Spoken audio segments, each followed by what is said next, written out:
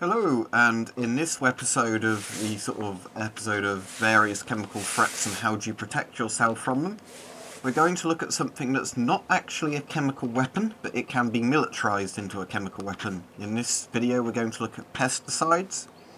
Now, there are a lot of different types of pesticides, some far nastier than others, but most pesticides that are used are known to be carcinogenic, as in they cause cancer over long-term exposure to them, or in high enough doses, or they can cause tumours and things like that. Now, pesticides are quite worrying because you can actually weaponise them into nerve agents. Nerve agents, which I'll cover in later videos, I'll probably do one episode on the German G agents from World War II and a later on the VX uh, type nerve agents. They're essentially extra strong pesticides that kill very, very efficiently. Um, but regular watered down pesticides of a similar type are used on food all around the world. Um, the idea is to kill insects that try and eat them. Now, obviously, there's something quite worrying about spraying food that people are going to eat with a poison because the poison kills insects. So, um, obviously, as I've said before in these videos, I am not a bio biologist or a chemist. I can't say, yo, you could make a much better pesticide than the ones they use, which would be safer. But if we simply look at the facts, we know that, obviously, yeah, you would need pesticides in some region to, you know, have higher crop output, stop, uh, you know, insects eating the crops. But history has shown that um, pesticides are generally a very bad thing. Nature works well when you don't mess with it when you start killing off the insects using a poison, it can then affect the greater food chain. You could then affect, you know, birds that eat the insects, start poisoning them, disrupt the entire food chain, kill off lots of species of animals by doing that, completely destroying the ecosystem in a country. It generally doesn't work well when you try and play God with these things and change it. Now, the other issue as well, and this is the big issue, is that pesticide is known to be incredibly poisonous, especially over long term. The soil it's in, you know, the regions where a lot of stuck crops are grown and sprayed with pesticides, and if you eat the pesticide, you know, coated food regularly, especially if you don't wash it very well, you're letting the stuff build up into your system. Now, it could make you short-term ill or long-term ill.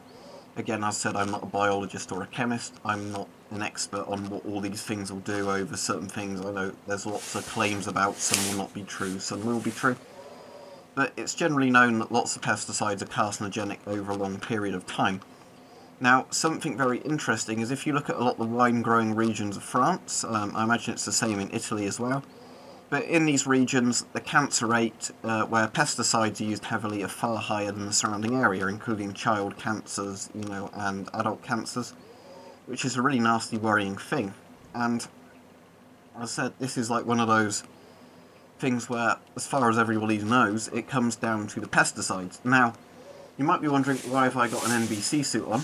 Um, well, simply because when pesticides are sprayed on a field, have a look at pictures or videos of the people spraying the pesticide. They are dressed up like this. The people spraying the pesticides are dressed up like chemical warfare troopers, which should tell you all you need to know about how safe this stuff actually is. Now, when pesticide goes wrong, it can go really wrong.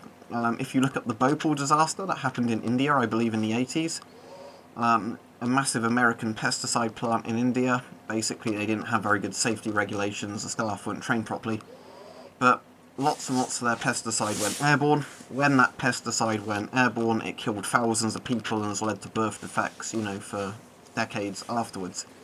The shadow of Bhopal is still there. Um, you know, it's totally ruined that region. Everything was poisoned and, you know, it was really nasty stuff. It was like a proper proper chemical warfare strike on the uh, shanty town. Sort of the slums when uh, the actual uh, Union Carbide factory released all of the um, cyanide type based um, pesticide into the air.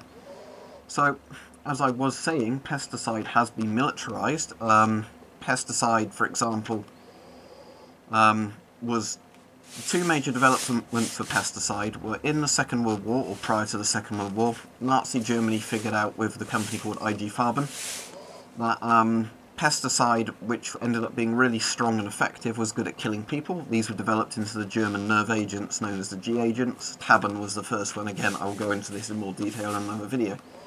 So, the most dangerous chemical weapons known to man are made from pesticides. So, that's, you know, one of the things. Another famous uh, pesticide that they figured out was very good at killing people was called Zyklon B, Cyclone B in English, used by the Nazis during the Holocaust to kill the Jews, you know, the Gypsies, all the other people the Nazis deemed to be undesirables, Untermensch, um, you know. So, one of the worst genocides in human history carried out with a pesticide, for the most part, at least in the gas chambers, not through starvations and shootings and whatever else, but the actual gas chambers used a pesticide. So, this should start giving you an idea of just how nasty pesticides are. Now, as again, I'm not saying, oh, we should totally not use pesticides at all. I'm sure that would have a lot of problems with people then starving because there's not enough food products, but there certainly needs to be a lot more regulation done with pesticides over what's safe. So how can you protect yourself from pesticides? Well, firstly, I'd say not live in a region where pesticides are used, uh, you know, a lot for spraying on fields. Otherwise, you will have to be dressed up like me uh, to simply be alive in those regions. Because if you're not dressed up like this over a long enough period of time, you will get a cancer or some other horrible illness, or your immune system will suffer. All these other horrible things because these pesticides simply aren't safe for human use. Um, you have to wash your food pretty thoroughly as well. Um, you know, uh, an interesting thing is actually if you have a small pet animal, and you feed them food that's got lots of pesticide on, uh, because you haven't washed it properly, that can kill them. So if you've got a small pet that's killed by, you know, too much pesticide on a product, it's a bit worrying what that would, you know, do to a person if you just scaled it up or the amount eaten up. So, as I said, pesticide is really nasty stuff. Your only real thing is, you know, wash your food thoroughly, try and buy maybe foods that are grown without using pesticide, and don't live in a region where pesticide is sprayed regularly on fields around you or you will start, you know, having some of those effects onto you. Uh, you know, some of those are very, very nasty effects. So, hopefully this video has um, enlightened you a bit about pesticide. Yeah, it's really nasty stuff, as said. Developed into chemical weapons from being a pesticide, but regular stuff's nasty enough that it can kill you if it gets released in Bhopal. Um, long-term build-up of it in the soil and on farms, if you live near them, can lead to cancers and it can lead to, you know, lots of stomach problems and poisoning. An interesting thing as well, if you're around pesticide too much, or you eat foods that are coated in pesticide too much, it destroys the good bacteria in your stomach. I actually learned that from speaking to somebody who works in the pesticide research industry. You know, the type of people that are employed to make pesticides, but they actually really don't like the stuff themselves, which again says a lot about the types of chemicals used. So, um, yeah, regarding pesticides, um, my advice is stay well clear of them if you can. Um, otherwise you're going to need to be decked up like me.